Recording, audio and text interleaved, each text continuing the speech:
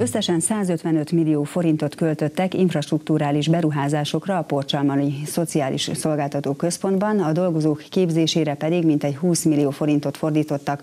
A központban idős, demens és fogyatékkal élők ellátását végzik. A Porcsalmai Szociális Szolgáltató Központ nem csak helyben, további hat településnek biztosítja az idősek, fogyatékkal élők és a demens betegek ellátását. Az intézményben elérhető alapszolgáltatás és szakellátás is.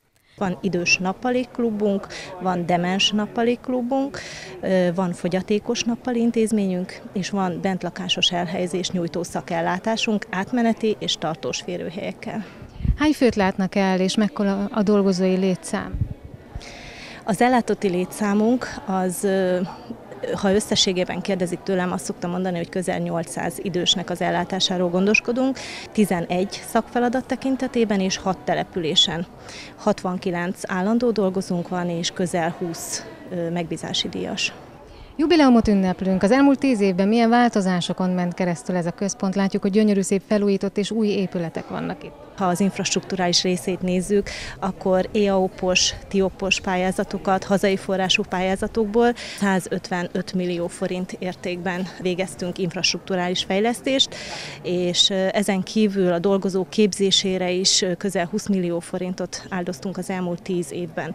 6 évig önkormányzat fenntartásában működött az intézményünk, az utóbbi négy évben pedig a helyi református egyházközségnek a fenntartásában működünk. Mennyire volt hiánypótló ez a szolgáltatás, amit önök tudnak itt a Szatmári térségben nyújtani? Ez egy hiánypótló szolgáltatásra épülő intézmény volt, hiszen 2005-ben, mikor megalakítottuk a Szociális Szolgáltatóközpontot, akkor 7 dolgozó volt és 40 ellátott. Ma van 69 dolgozó és nagyon-nagyon sok száz ellátott, és több településen természetesen nem úgy alakítottuk ki a szolgáltatásokat, hogy fölcsaptuk a jogszabályt és csináljunk ezt vagy csináljunk azt, hanem az élet hozta.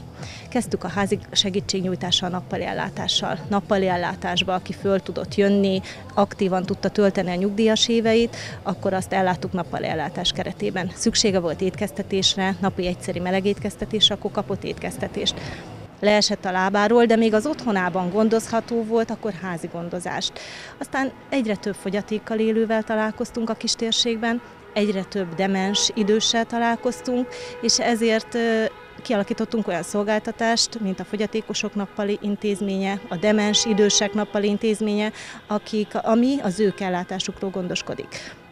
És ugye ott van az az élethelyzet, amikor annyira lerobban valaki, hogy már az otthonában nem gondozható, napi 24 órás felügyeletre van szükség, és nagyon sok idős szinte könyörgött azért, hogy itt helyben csináljunk valamit, mert ő itt szeretne megöregedni, és itt szeretne meghalni, és egy kis létszámmal, egy 19 fővel indítottunk egy bentlakásos intézményt 2010-ben. Kormos Csaba lelkipásztor beszédében azt hangsúlyozta, a református egyházközség azzal, hogy fenntartója a központnak, szolgálatát is megerősíti a térségben. Az egyházközség, mint a településen működő legnagyobb felekezet, több mint kétharmada a településnek református vallású, eleve kapcsolatban van azokkal az emberekkel, akikkel maga a szolgáltató központ is kapcsolatban van, és az egyházközség a maga szolgálatát is megerősíti azáltal, hogy a szociális szolgáltató központon keresztül elérjük az időseket, fogyatékosokat,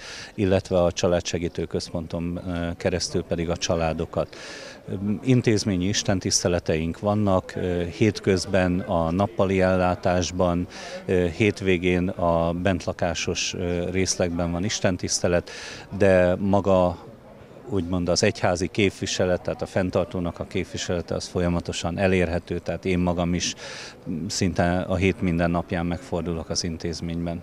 A jubileumi ünnepségen részt vett a szociális ügyekért és társadalmi felzárkózásért felelős államtitkár is, aki azt hangsúlyozta, csak ott jöhet létre ilyen integrált központ, ahol a munkatársak, akikre rá vannak bízva az ellátottak, hűséggel, odaadással és elkötelezetten végzik a munkájukat. Azt látjuk ennek a szolgáltak és a példáján, hogy rendkívül fontos, hogy a helyi közösségeink megerősödjenek. Valóban ezek a helyi közösségek látják helyben, hogy ki a rászoruló ember, ki a támogatásra szoruló, és megpróbálják megszervezni mindazokat a segítségeket, amelyeket a kormányzat a szabályozáson és a finanszírozáson keresztül biztosít a számukra. Ezt illesztik össze a helyi közösségben élő rászoruló emberek megsegítésére. Ennek egy jó példája ez az intézmény. Az ünnepség végén a résztvevők kis papírokra írt jó kívánságaikat léggömbök segítségével a magasba emelték, bízva abban, hogy valamennyiük óhaja teljesül. Az intézmény vezetője jövőbeli terveit szeretné maradéktalanul megvalósítani. Volt egy szolgáltatásunk, a támogató szolgáltatás, ami a fogyatékkal élőknek segített. Ezt finanszírozás okok miatt abba kellett hagyni, nem nyertünk erre pályázatot. Nincs továbbra sem senki szolgáltató, aki ebbe a kistérségben ezt ellátná, nagyon szeretnénk ezt beindítani. Illetve tervek vannak, elképzelések vannak, de tudom azt, hogy mi a kormánynak az iránymutatása, és mindenképpen a, a kormány iránymutatásával együtt szeretnénk az idősek ellátásáról gondoskodni.